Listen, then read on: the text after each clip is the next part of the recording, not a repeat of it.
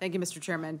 Um, Mr. Secretary, as a fellow Iowan, you know the impacts of the biofuels industry on our economy, um, the importance of supporting American farmers as they're growing crops that feed and fuel the world, and um, the administration's revisions to the GREET model, which will affect, of course, the value that Iowa farmers are able to receive for their products, is absolutely critical for industry um, and for long term. And it's really important that um, Iowa farmers are recognized not only for their conservation practices, but um, I, I certainly appreciate your work to advocate for our farmers as this model is being revised. So I'm wondering if, um, based on the announcement on March 1st, when the administration said, hey, we're going to delay finalizing this revised model, um, can you provide an update for us on um, the status of that revision for GREET um, and thoughts to ensure that, um, you know, the scientists are driving that review of GREET?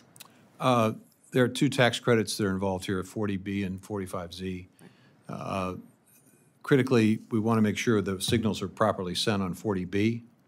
Uh, So first and foremost was getting an acknowledgement and appreciation for the use of the GREET model, which we've been able to accomplish.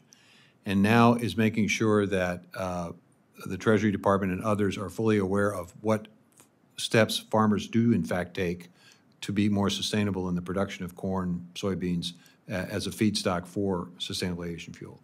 Um, I'm confident that there's a recognition that no-till, cover crops, energy-efficient fertilizer are the kinds of things that uh, ought to be included as factors to calculate whether or not a particular sustainable aviation fuel meets the threshold of more than 50% improvement. Uh, So I think it's going to, I'm confident we're going to send the right signal. Uh, And then uh, I think there is an opportunity for a much broader conversation on 45Z uh, to see whether or not there are other aspects of climate-smart agriculture or sustainable agriculture uh, that uh, uh, ought to be considered. Um, I think the right signal is going to be sent. I think there's a recognition uh, that farmers are going to play an integral role in the development of this fuel.